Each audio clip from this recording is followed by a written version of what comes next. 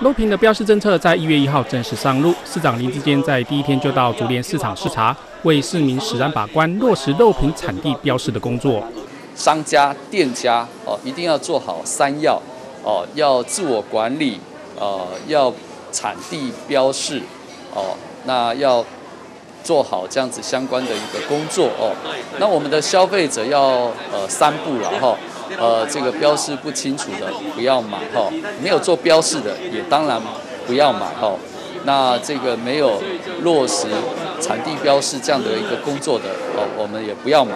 所以我想这个三要和三不，如果大家不管是我们的商家或者是消费者都能够落实的话，那我相信呃这个新制之后呃很快的时间呃对于我们的所有的消费者来说。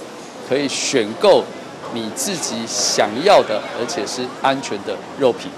新竹市卫生局透过追踪追溯系统列车，掌握新竹市输入肉品业者三家，加工厂六十一家。透过稽查业者产品来源和流向，让民众采买的安心，吃的放心。产地这个标示哈，我们现在就是做出来，哦，然后让所有的这个民众他能够吃的安心，买的放心。这样，这个猪它是有身份证的，哎，你可以。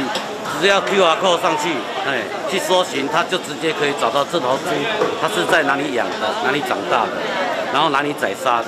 你会出示什么样的的东西让他们？这边这边都有文件，所有的文件都在这边。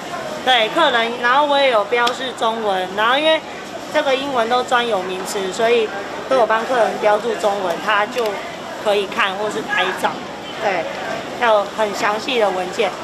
卫生局也表示，食品业者要在营业场所的明显地方、菜单或是产品的外包装上，如实的标示猪肉可食部位、原料、原产地，来提供消费者辨识。我们现在都是一定吃那个温体猪啊，而且一定要认明是那个台湾猪啊，要不然的话，你说一些加工的肉制品，比方说香肠啊，对不对？贡丸啊，或者是说，甚至于外面你去那个店家吃到水饺啊，那种只要你不是看到是。